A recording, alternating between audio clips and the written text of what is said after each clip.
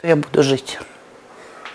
И как я благодарна тем девочкам, которые так оперативно и так быстро могли со мной, вот, ну как бы сказать, помочь мне жить, выжить. Быстрые такие. Ира так вообще, вот я слышала, Ира, дыши, Петровна, дыши. Я открываю глаза, они стоят.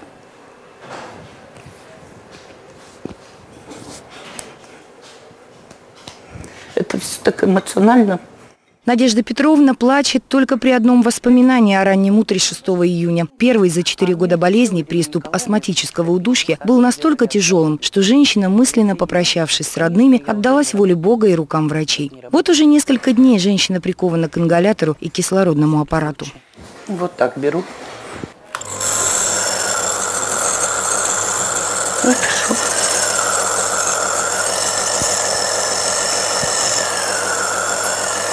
Хорошо. Да.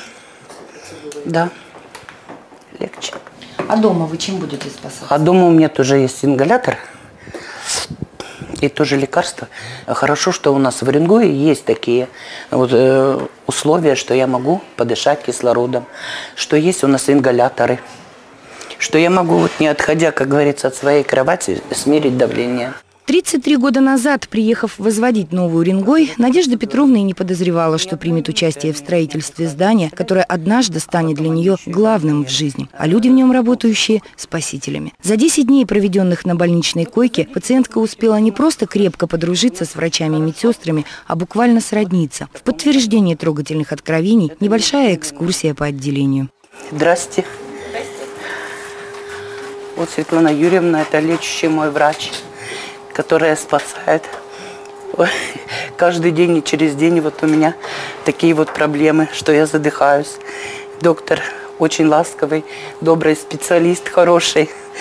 Сразу, сразу меня погладит, как говорится, приведет в чувство, и я живу. Спасибо. А вот девочка, которая, медсестра у нас Лариса, которая 6 числа, первый мой приступ, где я была уже, как говорится, на грани смерти, и она меня спасла.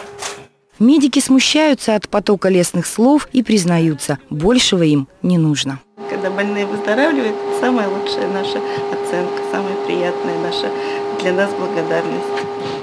Ровно половину своей жизни женщина не просто отдала новому Уренгою. Строитель щедро подарила Северу молодость и здоровье. Очередь за городом – вернуть утраченное, хотя бы частично. И Надежда Петровна знает, за жизнь и ровное дыхание своей пациентки наши медики будут биться до последнего. Ольга Май, Николай Александров. Служба новостей «Импульс».